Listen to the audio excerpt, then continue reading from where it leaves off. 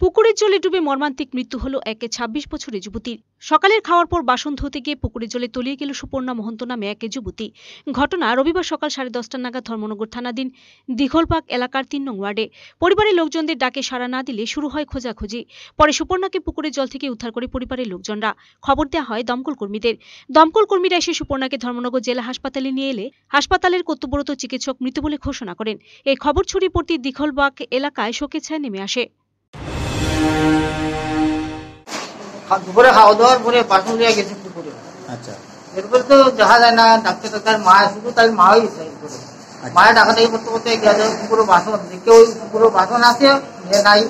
ওই বাসটিয়াটা লাড়া দিছে পুকুরের মধ্যে। লাড়া দিয়ে দেখে একটা লাগে। ওই দৌড়াই আমার ডাক দিল আমি আসলাম বাইরে গরু গরু সরানি গরু।